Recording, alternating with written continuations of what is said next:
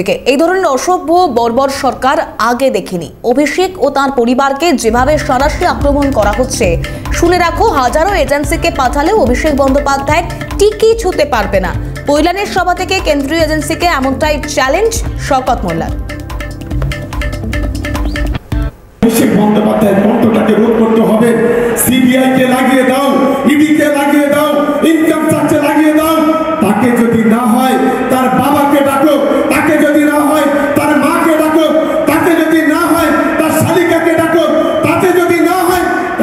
স্ত্রীকে ডাকো এই ধরনের অসভ্যতা, এই ধরনের নোংরামি কেন্দ্রীয় সরকারের বদান্যতা, এর আগে আমরা কখনো দেখিনি। বিগত দিনে অনেক সরকার আমরা দেখেছি, একটা অসভ্য বর্বর সরকার, হিটলার সরকার, যারা গোটা দেশটাকে, আর বিশেষ করে আমার প্রিয় নেতা অভিষেক বন্দ্যোপাধ্যায় এবং তার পরিবার কে যেভাবে তাদের বিরুদ্ধে সরাসরি আক্রমণ করছে, এটা আমরা জীবনে কখনো দেখিনি।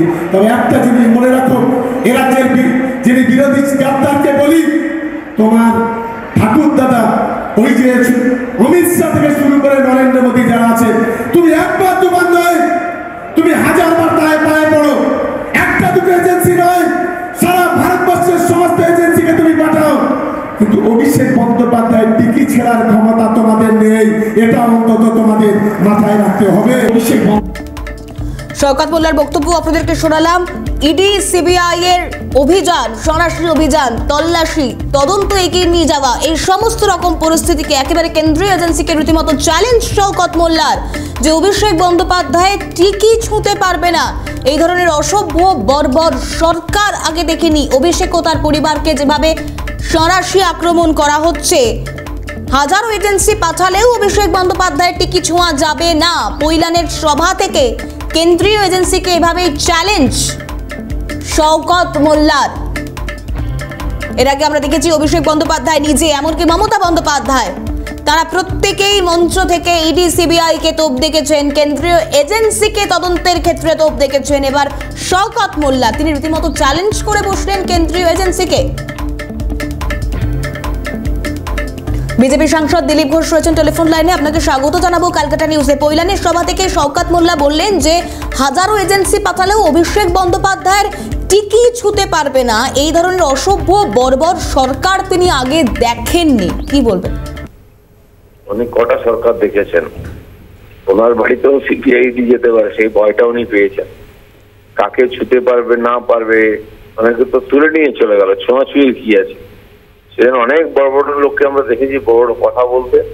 রাজ পরিণতি কি দেখুন? সারা দেশ, সারা বাংলা আজকে তাকে সন্দেহ করছে এবং এই সমস্ত দুর্নীতির ভাগ তারা পেয়েছেন আর তাদের কাছে সব তথ্য আছে, সেগুলো ধীরে ধীরে পাওয়া যাচ্ছে। সময় বলবে কে কোথায় থাকবে। বেশ, অনেক ধন্যবাদ জানাব দিলীপ বাবু আমাদেরকে সময় দেওয়ার জন্য। বিজেপি সাংসদ দিলীপ ঘোষ কথা বলছিলাম তার সঙ্গে। কেন্দ্রীয় এজেন্সিকে চ্যালেঞ্জ শওকত মোল্লার। এই ধরনের অসভ্য, বর্বর সরকার আগে দেখেনি এমনটাই তিনি বললেন। অভিষেক ও তার পরিবারকে যেভাবে সরাসরি আক্রমণ করা হচ্ছে, হাজারো এজেন্সিকে পাঠালেও অভিষেক বন্দ্যোপাধ্যায়ের টিকি ছুঁতে পারবে না। পৈলানের সভা থেকে কেন্দ্রীয় এজেন্সিকে এ ভাষাতেই চ্যালেঞ্জ শওকত মোল্লার।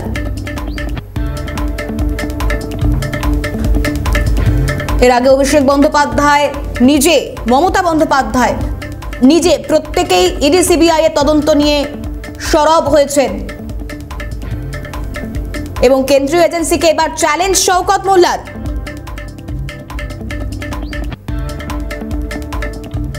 তিনি বলছেন, এই ধরনের অসভ্য, বর্বর সরকার আগে দেখিনি।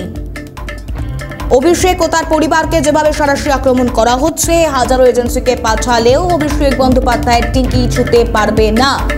কৈলানের সভা থেকে কেন্দ্রীয় এজেন্সিকে চ্যালেঞ্জ শওকত মোল্লার। এই মুহূর্তে আমরা টেলিফোন লাইনে যোগাযোগ করতে পেরেছি বাম নেতা সুজন চক্রবর্তীর সঙ্গে। সুজনবাবু, স্বাগত জানাব আপনাকে ক্যালকাটা নিউজে।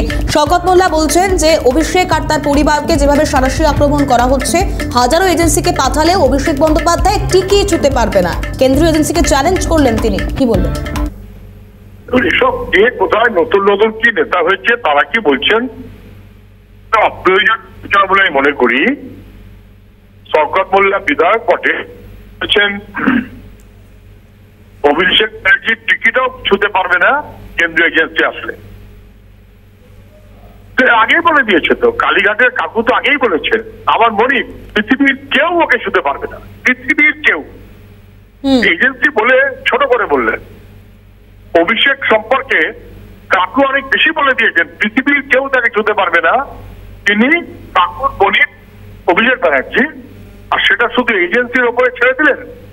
ভাইপোর সম্পর্কে তার কাকু বলেছে, পিসিও ভাইপোকে ছুতে পারবে না। সবকা অতটা বলে উঠতে পারল না, বলা উচিত ছিল যে ভূ ভারতের কেউ, পৃথিবীর কেউ ছুতে পারবে না। আর ছুতে আসলে কি হবে, শাহজাহানকে দেখেই বোঝো। তবে তারপর কীভাবে হবে শাহজাহানের সেটা তো দিল্লির ওপর নির্ভর করবে। অনুব্রতর মতন জেলঘুঘু হতে হবে আর রয়্যাল বেঙ্গল টাইগারের মতন জঙ্গলে থাকতে হবে, সেটা কেন্দ্রীয় বাহিনীর ওপর নির্ভর করবে। এসব পাগলের দল জঙ্গলে থাকার পার্টি এদেরকে নেতা বানিয়েছে বাংলাটাকে জঙ্গলে পরিণত করছে। অনেক ধন্যবাদ জানাব। সুজন বাবু, আমাদেরকে সময় দেওয়ার জন্য। সিপিএম নেতা সুজন চক্রবর্তী, কথা বলছিলাম তার সঙ্গে।